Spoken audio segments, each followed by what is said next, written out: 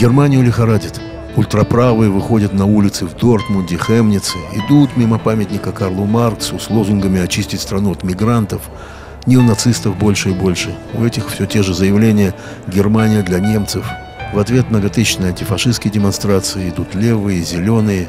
Короче, богатая и когда-то спокойная Германия неспокойна. И все время ощущение, что кто-то все больше это разжигает. Эмигранты разжигают внутриусобную гражданскую войну. Это является их целью. Это является их целью, потому что в итоге они ослабят общество, они приведут к власти того, кого они захотят, потому что они очень сильные сегодня уже. Они могут и на выборах, и без выборов делать очень многое. Они ведь связаны и с остальными странами, странами своего исхода, которые помогают дипломатически и так далее.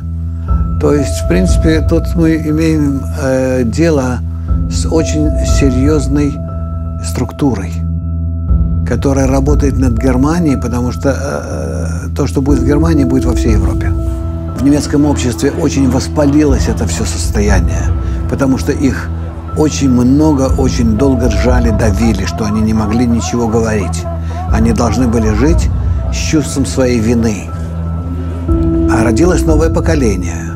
Выросло уже даже не одно, а два и, может быть, даже три поколения после войны, которые вообще к этому делу не имеют.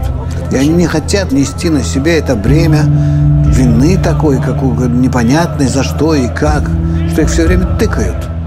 С одной стороны, сама богатая и сильная страна, а с другой стороны, как она должна себя вести. Вот это противоречие. Разрывать человека. Да, и они поэтому сейчас начинают освобождаться от этих своих внутренних э, оков, вытаскивать эти кляпы изо рта, развязывать себе руки – и я думаю, что это в итоге выльется в очень кровавые столкновения. Ну вот если можно было сейчас вот замереть и что-то исправить, что бы вы сделали? Они не могут. Для этого нужны другие правители, которые бы понимали, что надо как-то э, оседлать э, все вот эти всплески. Надо успокоить мигрантов. Надо что-то с ними сделать, урегулировать, ввести какие-то законы. Быстренько, пока еще возможно – ограничительные.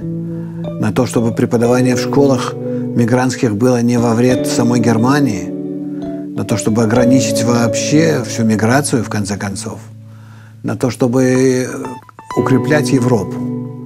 Не за счет мигрантов, а за счет того, чтобы э, во всех э, школах, заведениях, э, средствах информации, везде законным путем пропагандировалось бы Э, единство, объединение, э, взаимопомощь, взаимозависимость и прекратить делить Европу, объединенную так называемую, на первый, второй, третий и так далее сорта.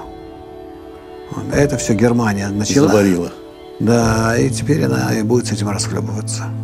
И все ее будут дружно ненавидеть, особенно те мигранты, которые в ней.